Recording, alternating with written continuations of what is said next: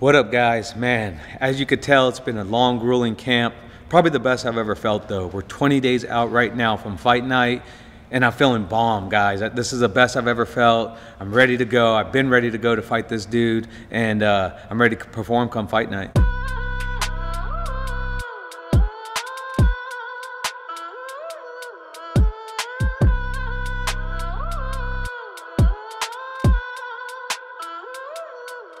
So during training camps, you get to meet some special people that stick around for a while. Arnold has been one of those personnels for me. He's been having my back. He's always been a great training partner, giving me live looks, fast, energetic, and that's why I keep him around. He keeps me sharp. He keeps five steps ahead of me when I'm on fight week, and it's a pleasure to have him around. I need like three training partners. What's up, guys? I'm Arnold Jimenez. I'm one of uh, Juan's training partners. That first time training with Juan, man, I remember walking out that practice, being man, this mother works hard, man. His, I mean, I've been caught saying multiple times he's the hardest worker I've ever been around, and I've been around some of the best guys in the world, and he is definitely the hardest worker.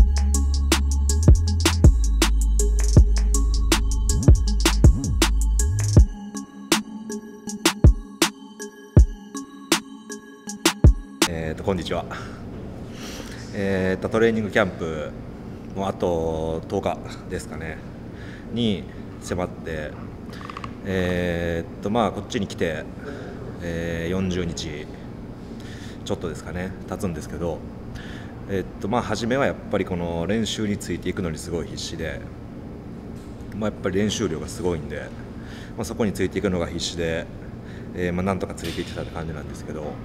まあ、やっとその1ヶ月経ったぐらいから体も慣れてきてでどんどんどんどんその自分の中で、うんまあ、余裕ができたって言ったちょっと言い方おかしいですけど、まあ、やっぱその なんて言うんですかねちょっとそのいろんな技術を試す余裕ができたりとか、まあ、そういうところが出てきて、まあ、すごい自分の中で練習になってるなっていうのがあって。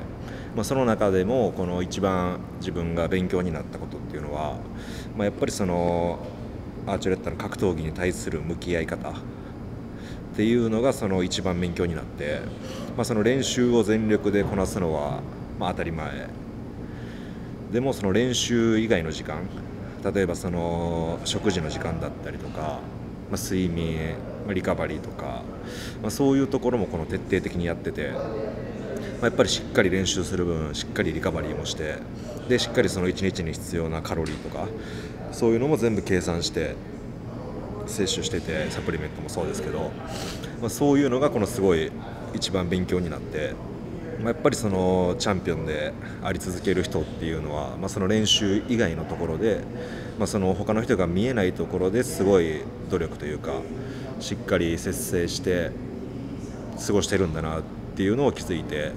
まあ、今までの自分はやっぱりその練習はもちろん一生懸命やってましたけど、まあ、そういうところに関してが結構ルーズだったというか、まあ、あんまりその気を使ってなかったんで、まあ、そこが一番勉強になったし、まあ、日本に帰ってもしっかり、えー、この学んだことを実践していこうって思いましたね。Man, so the evolution of Kyohei since he's been here has been awesome. We switched his name from Kyohei to KO because he's a heavy hitter. Uh, so with that, the evolution has been putting real size on him, showing him real, showing him a real training camp, what it's like to be having the team behind you to make you number one in the world.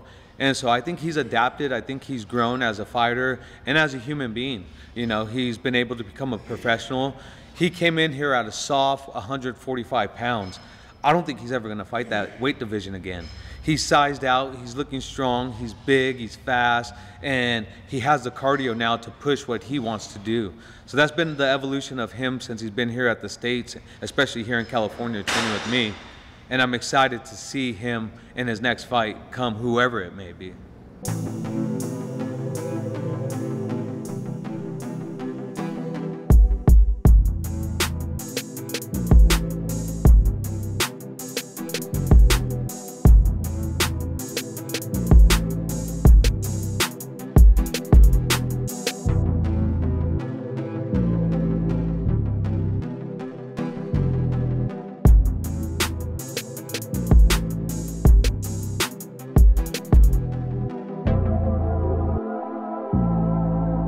Speak English. Nice. Man, working with Cub Swanson, he's one of the legends in the sports. He's had some of the most nastiest knockouts I've ever seen in my life. He's been on a tremendous fight win streak. One of the best guys I've seen compete as a martial artist and not get the title fight. But he's that special breed of someone else that, you know, every time he's faced adversity, he's overcame it. And so that's what's helped me in my career. That's what's helped me having him by my side and my career is when I'm faced with adversity, how to overcome that. So I'm truly thankful to always have Cub in my corner. I'm Cub Swanson, and I'm here at Gracie Barra headquarters in Irvine, California. Just got through a nice training session with my boy Juan. And me and Juan Archuleta have been training together for a long time, pretty much since the beginning of his career. And uh, yeah, it's been a long journey. He's been helping me for, for my fights, I've been helping him for his, and yeah, here we are now. Training with Juan is like, he, he's got such a high pace. Um, I think he picked up on a lot of things that I I've done over the years of making sure you, you take care of your training partners. So when me and him go, it looks like we're fighting because we can go at such a high pace, but we're taking care of each other. And that's something that you build over time and you, when you get to know each other.